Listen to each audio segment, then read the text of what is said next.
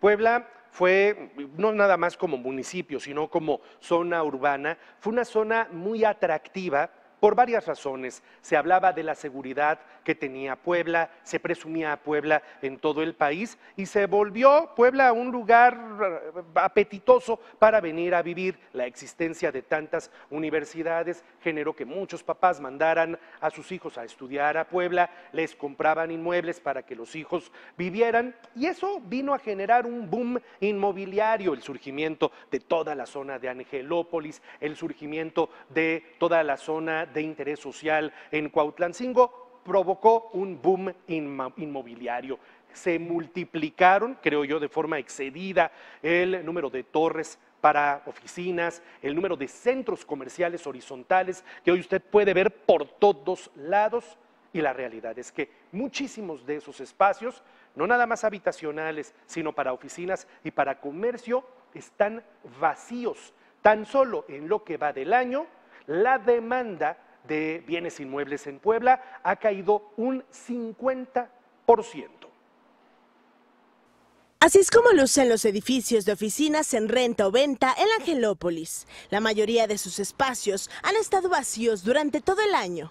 De acuerdo con expertos, el crecimiento inmobiliario no llegó a Puebla este 2019. Empresarios de este sector aseguran que hace algunos años Puebla era considerado un punto estratégico para la construcción y la compra de bienes, debido al gran número de personas de otros estados que llegaban a vivir o a establecer sus negocios. Sin embargo, en el último año, esta demanda disminuyó hasta en un 50%. Una de las principales causas es la percepción de inseguridad. Puebla creció mucho cuando se suponía que Puebla era muy segura mucha gente de muchos lugares venían y había también demanda. La inseguridad que pues sí ha crecido en Puebla, la verdad, sí ha crecido.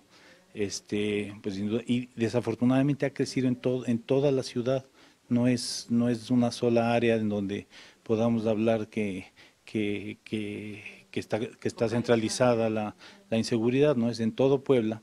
La Bolsa Inmobiliaria Puebla asegura que la plusvalía ha ido en aumento en las zonas de Zabaleta y Las Ánimas, colocándose como las más caras de Puebla. Sin embargo, la situación económica a nivel nacional ha hecho que estos bienes inmuebles pidan a gritos ser ocupados. La economía poblana se ha estancado.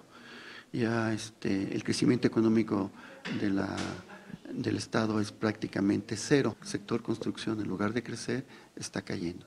Y esto pues afecta a todo lo que tiene que ver con los bienes raíces. Ahorita el inversionista está de alguna manera con una gran incertidumbre, con una preocupación que no lleva a cabo proyectos de inversión y por lo tanto no adquiere estos edificios. Este mismo problema sucede con la renta de locales en plazas comerciales y bodegas industriales, provocando que muchas empresas hayan decidido voltear a otro lado para realizar inversiones. Yo tengo una empresa, por ejemplo, que se acaba de ir, estaba, estaba está ubicada enfrente a Volkswagen, se acaba de ir no solamente por la inseguridad, sino porque se le, se le cortaron los presupuestos, entonces esos recortes hacen que mucha industria pues, se tenga que se tenga que emigrar hacia otro lado. Expertos también aseguran que actualmente hay una sobreoferta de bienes inmuebles en Puebla, pues se siguen construyendo edificios a pesar de que los existentes no han sido rentados. O sea, hay ya sobreoferta de oficinas y de viviendas sobre todo.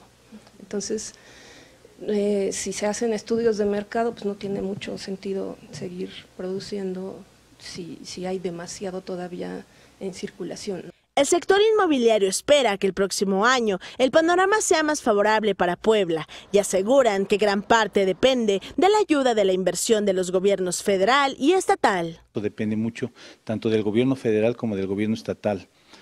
Ellos, ellos pues son los responsables de crear una infraestructura en Puebla que nos permita, que permita a los inversionistas este, seguir invirtiendo y que, y que de verdad sus inversiones sigan produciendo. Esas son, este, pues ese es el reto básicamente, ¿no? Roxy Zavala, Imagen Noticias Puebla. Esta mañana tenemos una encuesta justamente abierta sobre este tema, porque al final del día estamos hablando de un asunto muy delicado. Viene el boom de la construcción en Puebla. Conozco a muchos empresarios poblanos que han vendido sus empresas para mudarse al tema inmobiliario y el tema inmobiliario hoy se encuentra en esta condición no va a ser para siempre, pero sí finalmente este ha sido un año muy malo para la venta de inmuebles. Nuestra encuesta, Janet. En el último año, Juan Carlos, esta demanda disminuye en un 50%. ¿Cuál cree usted que sea la principal causa que genera esta caída en la demanda?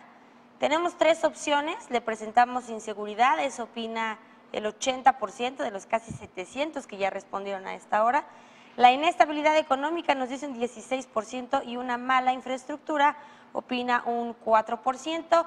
Es un tema, como decías Juan Carlos, complicado, delicado, que tiene muchas aristas y si usted tiene una opinión en torno a alguna de ellas, háganosla llegar. Tenemos ya un comentario por ahí, Arturo Romero García nos dice, ese fenómeno le pasó a Colombia con lavado de dinero, ¿no será eso? O sea, hay dinero de más, que de dónde viene, pues. Hay muchas torres, muchos edificios, muchos centros comerciales y la pregunta es, Hay muchas torres, sí es ¿con cierto, Juan. dinero de dónde? Es decir, ¿de dónde en su momento vino ese dinero? Y muchas veces se ha hablado en Puebla de la posibilidad de que sea producto de un tema de lavado de dinero y que entonces al inversionista que viene a levantar torres no le No le importa que si quedan ahí paradas, ¿no? Sí. Porque tarde o temprano se venderán. Pero bueno, sí es un punto de vista ser. interesante.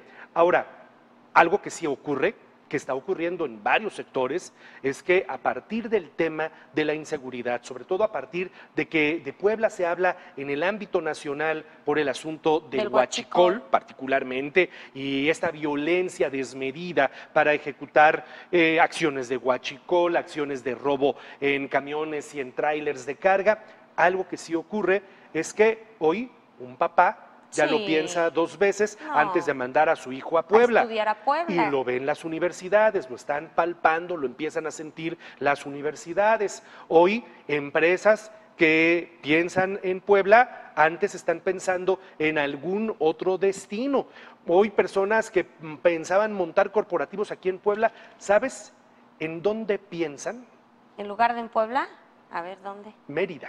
Ah, ves que Mérida. Mérida, está top. Mérida. O sea, es impresionante hoy cómo la gente ha volcado su mirada hacia la península de Yucatán. En fin, eh, es un tema, es un tema delicado. Si usted tiene algún punto de vista, se lo vamos a apreciar y al ratito lo leemos en arroba jcarlos-valerio.